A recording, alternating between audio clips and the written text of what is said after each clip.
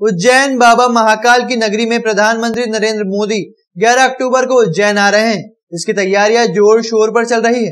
प्रधानमंत्री नरेंद्र मोदी की सुरक्षा को मद्देनजर रखते हुए थाना महाकाल का पुलिस बल अब आज से महाकाल के नए कॉरिडोर में लगा दिया गया है। महाकाल थाना प्रभारी नरेंद्र गौतम ने बताया कि प्रधानमंत्री नरेंद्र मोदी की सुरक्षा के मद्देनजर आज से कॉरिडोर में पुलिस बल लगा दिया गया है। वही महाकाल थाना क्षेत्र के रहवासियों से जानकारी भी मांगी गई है। जिन लोगों ने जानकारी नहीं दी है, उनके खिलाफ कार्रवाई भी की गई है। थाना महाकाल द्वारा प्रत्येक होटलों की जानकारी भी जुटाई गई है और जाँच की जा रही है। हमारे द्वारा 2500 मकान की जाँच की गई है, जिसमें से लगभग पच्चीस हज़ार लोगों की जानकारी अब तक जुटाई गई है। ऐसे 12 लोगों पर कार्रवाई की गई है, जो अपनी जानकारी छुपा रहे थे और थाने पर नहीं बता रहे थे, और संदिग्ध लोगों के खिलाफ भी कार्रवाई की जा रही है। ये सर्चिंग अभियान लगातार चलता रहेगा। महाकाल थाना क्षेत्र में मकानों की, उनके रहवासियों की होटल लाज धर्मशाला की चेकिंग की जा रही है।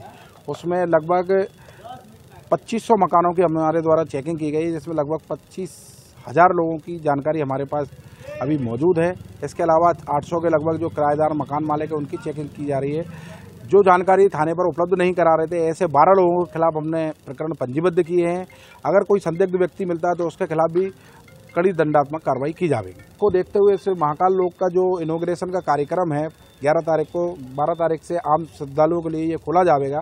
इसके पूर्व इसमें किसी प्रकार का कोई व्यक्ति अनागरित रूप से प्रवेश ना करे, इसके लिए आज से ही व्यवस्था लगा दी गई है और आगामी जो भ्रमण है माननीय प्रधानमंत्री महोदय का, उसके लिए विस्तृत व्यवस्था अलग से निकाली जाएगी।